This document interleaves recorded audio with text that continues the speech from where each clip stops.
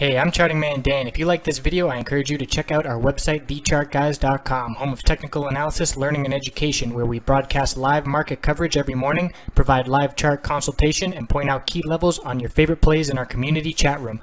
Why not check out our free trial and join the best technical analysis community online? Looking at SPY on the daily and weekly time frame, the gap down today, very bearish.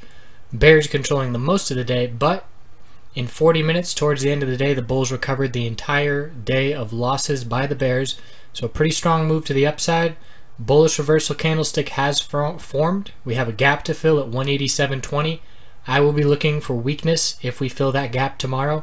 You can see 187 was strong support, seeing it bounce off that level four times. So I'm anticipating it to be strong resistance.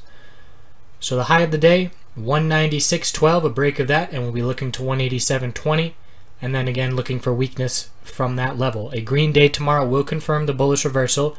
If we are able to close above 187 tomorrow, we'll be looking at the lower Bollinger Band as resistance, I mean the middle Bollinger Band, 189, 71, and dropping. Keeping an eye on the MACD for a potential bearish cross. RSI trending down. Weekly time frame, just one trading day, this pattern is going to change. Bullish reversal candlestick showing up on the weekly as well, as is that gap. So I'll be looking for that to fill this week. And we'll see if this lower Bollinger Band and higher low compared to January 20th, that big drop will be able to maintain. So with the overall trend bearish, we are looking for bearish entries on any sign of weakness after some bullish upside.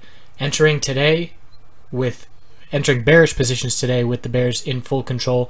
Didn't like the risk to reward anytime you see a move to the downside and you're getting in after multiple hours of trading to the downside, certainly not a high risk to reward in terms of reward in your favor. So after seeing a bounce to the upside, that's when you want to enter. You want to enter bearish positions on weakness at resistance.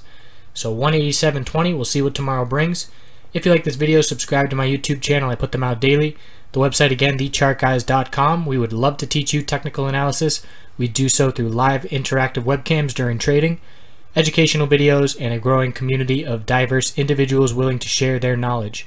Come check it out for a free week. Thanks for watching. Have a great night.